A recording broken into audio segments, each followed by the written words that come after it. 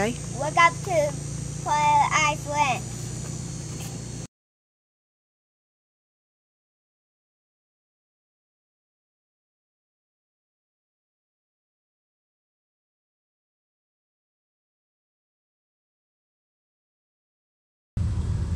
We are spending our weekend at Paradise Ranch near Tylertown, Mississippi. Now, this is our first time camping here. We've heard a lot of great things about it, uh, so we decided to come up. Now, it is July. it's very hot. It is only about 9 a.m. and it's extremely hot already, so um, we knew this when we booked, but I wanted to come and take a video of, they have uh, way behind me you can see they have a whole bunch of new pull-through sites that people are really anxious to see. Um, I believe they just opened them up very recently for booking and so those are now available. We are in a site around the lagoon and we came in last night and we got here at about seven. So we decided, you know what, we'll go to the pool for about an hour. So we did that and it was very nice and relaxing. And so um, we are starting our weekend here. So I will give a full review of what I think about the new sites, the old sites, campground in general at the end of the video. But first, let's check out the pictures of all of the campsites. Some of them are great, um, some of them are full sun. So check out the pictures and then we will talk about what I think about Paradise Ranch in Tylertown, Mississippi.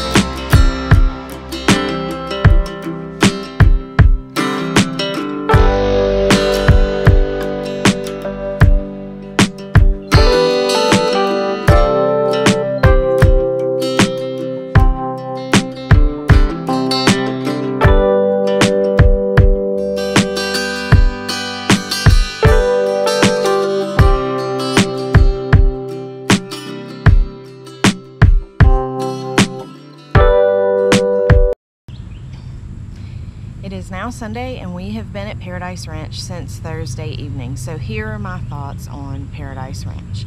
We actually love it here. There are a lot of people that don't like it um, for different reasons, but I'm just going to go over why I like it and why I think Paradise Ranch is a great place. So, yes, they put in a bunch of new sites, and yes, people are going to say that the pool's going to get too crowded and it's going to get too crazy, but I don't think that's going to happen.